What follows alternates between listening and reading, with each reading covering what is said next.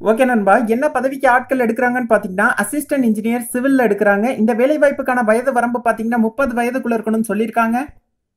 Okay இந்த வேலைவாய்ப்புக்கான கல்வி தகுதி பார்த்தீங்கன்னா பிஇ பிடெக்கில் சிவில் இன்ஜினியரிங் படிச்சிருக்கணும்னு சொல்லியிருக்காங்க. இந்த வேலைவாய்ப்புக்கான சம்பளம் பார்த்தீங்கன்னா நாற்பத்தி நாலாயிரத்தி தொள்ளாயிரத்துலேருந்து ஒரு லட்சத்தி நாற்பத்தி ரெண்டாயிரத்தி நானூறுரூவா வரையும் தராங்க. ப்ளஸ் பார்த்தீங்கன்னா அலவன்ஸும் கொடுத்துருக்காங்க.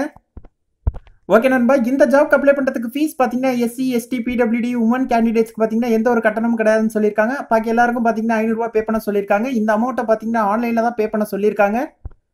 ஓகே நண்பா இந்த வேலை வாய்ப்புக்கு எப்படி விண்ணப்பிக்க சொல்லியிருக்காங்கன்னு பார்த்தீங்கன்னா ஆன்லைன் மற்றும் ஆஃப்லைனில் விண்ணப்பிக்க சொல்லியிருக்காங்க. ஸோ ஆன்லைனில் அப்ளை பண்ணுறதுக்கு லாஸ்ட் டேட் பார்த்தீங்கன்னா முப்பத்தி ஒன்று ஐந்து இரண்டாயிரத்தி இருபத்தி ஒன்று ஆஃப்லைனில் போஸ்ட் மூலியமாக விண்ணப்பிக்கிறதுக்கு லாஸ்ட் டேட் பார்த்தீங்கன்னா பதினொன்று ஆறு இரண்டாயிரத்தி இருபத்தி ஒன்று ஓகே நண்பா இந்த வேலை வாய்ப்பை எங்கேருந்து அறிவிச்சிருக்காங்கன்னு பார்த்தீங்கன்னா சென்னையில் இருக்க சிஎஸ்ஐஆர் மெட்ராஸ் காம்ப்ளெக்ஸ்ல இருந்து தான் அறிவிச்சிருக்காங்க. செலக்ஷன் ப்ராசஸ் பொறுத்தவரையும் பார்த்தீங்கன்னா ட்ரேட் டெஸ்ட் அப்புறம் காம்படிட்டிவ் ரிட்டன் டெஸ்ட் இருக்குன்னு சொல்லியிருக்காங்க. ஓகே நண்பா உங்களுக்கு இந்த நோட்டிஃபிகேஷன் லிங்க் டிஸ்கிரிப்ஷன்ல